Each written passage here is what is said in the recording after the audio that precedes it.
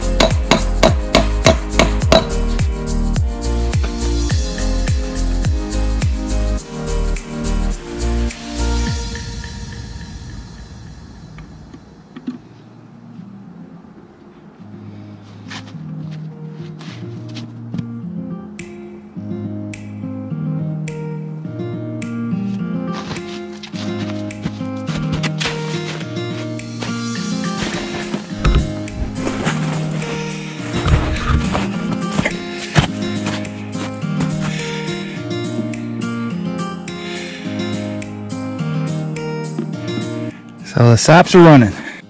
So first thing I, I'm doing is uh, I make a trail into the box or into the tree. I think I'm dropping here. I make a trail in so I can get in and out and I tap it and then I place her in the bucket and you can see this one's already flowing pretty good here. So I think I'll have to get some lids here otherwise I'm going to get a little bit of debris in here but uh, you can see it drip drip drip. So here we go. Still lots of snow and if the weather holds we should have a pretty good uh, syrup in here. So I'm trying to pick trees as close to the trail as possible. This is a dandy so I want to get over to it here but you can see the snow is easily up to my knees yet. So have to make a kind of have to make a road into it.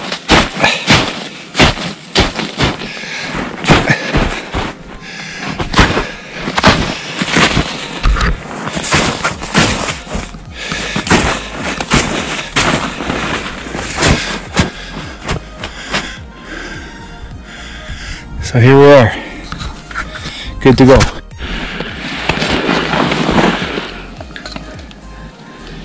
So I got about a third of a pail and half of it's ice because uh, we had four inches of snow yesterday. So it doesn't, it's spring, but it doesn't want to be spring yet here.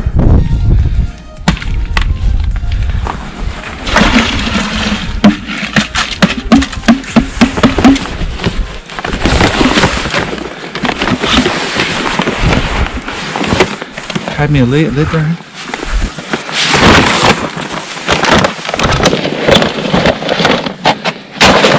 So I'm adding lids because uh, yesterday I had to dig snow out of my boxes or my pails. So just adding the lids.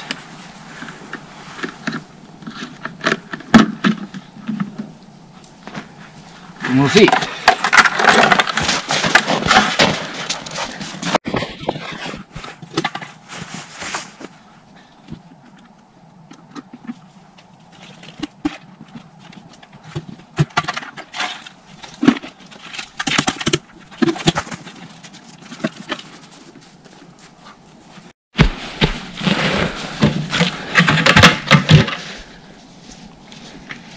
So when I started into this, I thought, well, you know, it's going to be easy. I'll just tap a few trees. But uh, like anything, when you want to jump into something, there's a bit of a learning curve.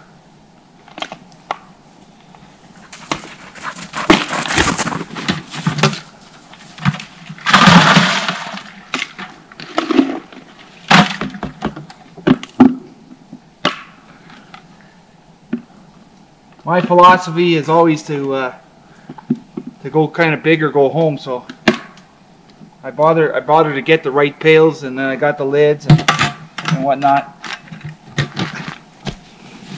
Probably for 20 pails for for the stuff that I have so far, the 20 pails, the uh, the carrying pails, the filters, the thermometer.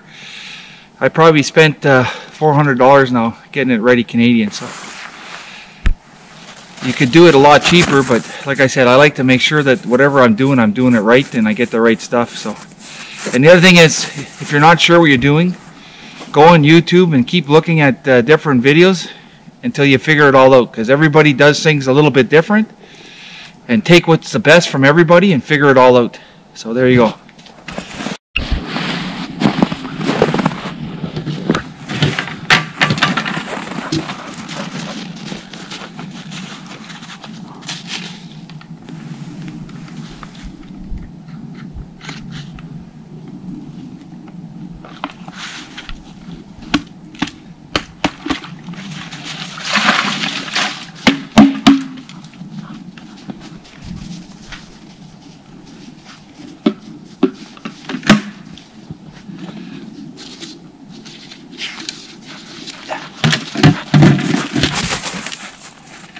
So I collected another probably 19, 20 liters today or four gallons and uh, it's been about the same for the last two days but the weather is not really cooperating. It's still too much winter here.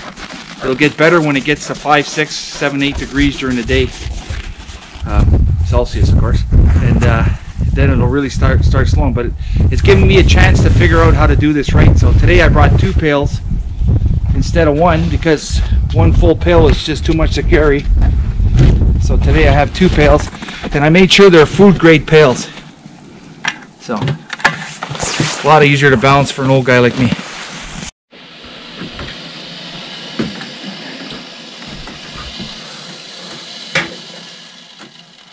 Just to turn it down for a second and uh, show you how it's boiling down here.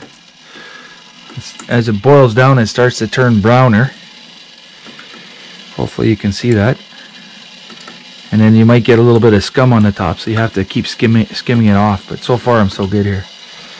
But uh, that was basically up to there. And you can see it's mostly water, but it's turning brown, so we're getting there. A couple more hours we'll get close.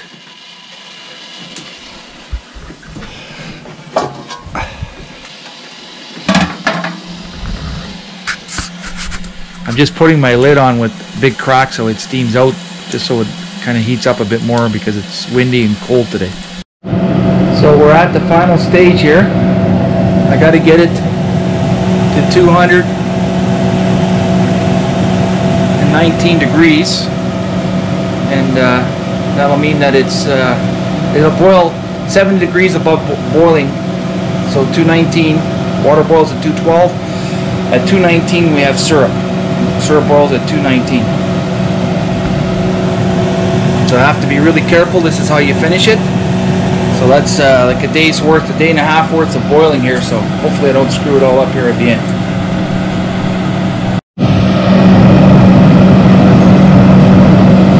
Good thing I'm not making lots. But uh, interesting process, just about there. Homemade maple syrup, boiled, and made into sap by myself, or by myself.